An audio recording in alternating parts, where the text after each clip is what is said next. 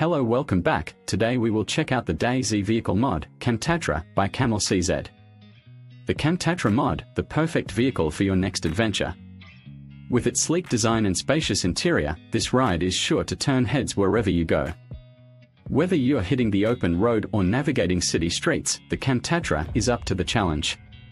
Equipped with 500 inventory slots, you'll have plenty of room to pack all your essentials for the journey ahead. You can bring it all along without any worries.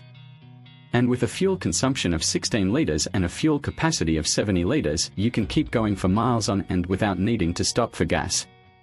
The Camtatra boasts a max speed of 160 km per hour, allowing you to cruise along highways and country roads with ease.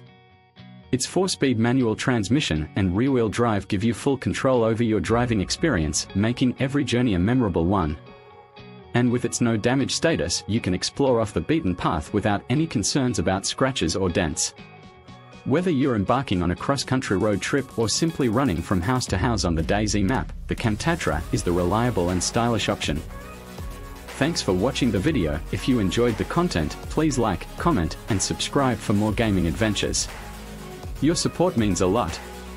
Catch you next time.